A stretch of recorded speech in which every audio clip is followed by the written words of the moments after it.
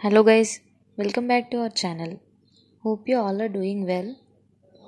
Now we will see how to upload BGC documents in TCS Nextstep portal. So to complete our BGC, first we need to fill the BGC form and then we'll get the links to upload the BGC documents. And I have also uploaded a video on step by step process to complete BGC and I'll give you the link in the description. If you have any doubts in filling the BGC form, then you can go through that link. And now let's see how to upload the documents in BGC after filling the BGC form. When you completed filling the BGC form, then you will get the slider like this. And in this slider, we can see that uh, we have already completed two steps. And now next step, uh, uh, the next step we need to follow is uh, upload the documents. So just click on the upload documents uh, below the slider and we will get the page like this. Here they have given the instructions to upload the documents. So uh, before start uploading the documents, just read the instructions carefully and then click on upload documents. So you'll get the links to upload documents like this. And the first link they have given here is uh, for NSR e-card.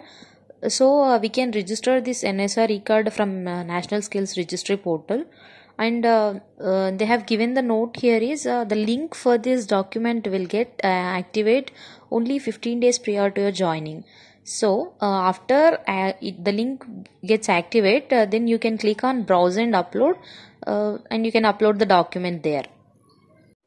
And the next one is birth certificate if you have the same then you can browse and upload. If you don't have the birth certificate also you can uh, upload your birth affidavit in place of birth certificate. Or uh, your birth certificate might be in your regional language or any of the details are uh, wrong spelled or any mistakes are there in your birth certificate then you can use birth affidavit in place of it. Just print this birth affidavit in 100 rupees stamp paper and you can upload it in, in the place of birth certificate here I have uploaded the same and uh, you can see the status as successfully uploaded. And the next one is address proof. Here uh, first you need to select whether the present and permanent address is same or not. Uh, you can select uh, appropriate uh, which suits you and uh, you can choose any one of these documents and you can upload the same. You, you have multiple options here. You can choose any document and you can upload. And the next one is Aadhaar card uh, as a citizen of India, we all have the Aadhaar card, right? Uh, so uh, just scan that Aadhaar card and upload the same in this link. And uh, coming to PAN card, uh, you need to scan your PAN card and upload it, uh, but scan them clearly and the, scan the original documents only. Next, passport.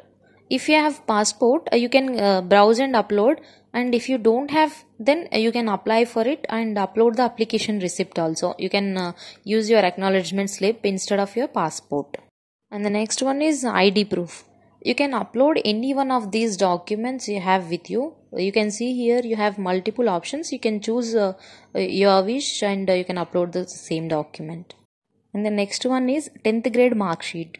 In this link you can upload your 10th standard marks memo and when it comes to uh, 10th certificate you can leave this as optional because they have not mentioned it as mandatory right?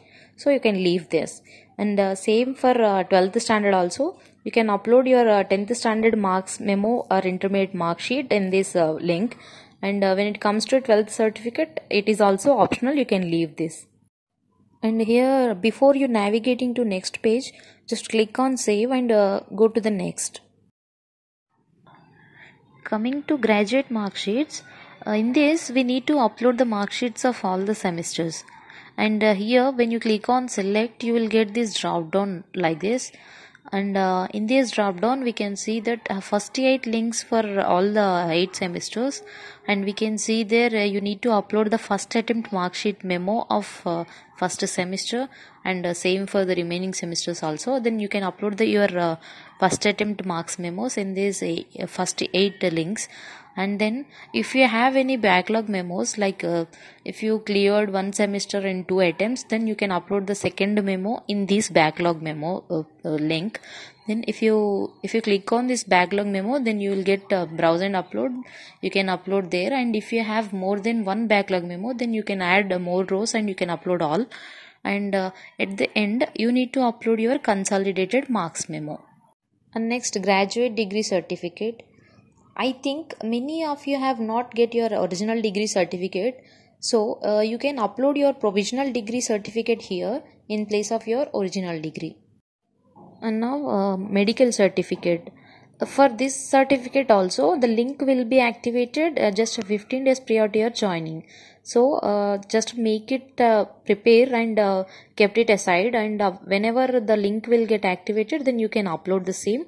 And uh, next if you have any other certificates you can upload them otherwise you can leave these are not mandatory and the last but not least non-criminal affidavit you can see here the link for these documents will also get activated 15 days prior to your joining only.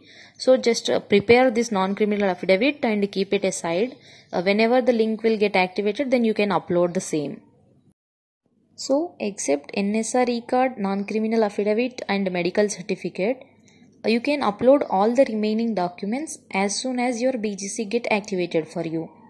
But after uploading all the documents only you need to click on submit. Until then you have to save the documents which you have uploaded till now. So after you click on submit then the status will change from successfully uploaded to pending for approval. And then if they accept the documents then the status will be like uh, approved. If not uh, they reject then the status will be like reject and the reason for the rejection will also be given in the last column. And uh, my sincere suggestion is to you guys is uh, to scan the documents clearly because this is the only reason i got rescheduled my date of joining. So don't repeat the same mistake guys. Uh, just scan them clearly and thank you for watching the video guys. And uh, uh, if you feel the video useful for you then please like the video and uh, subscribe to our channel for more information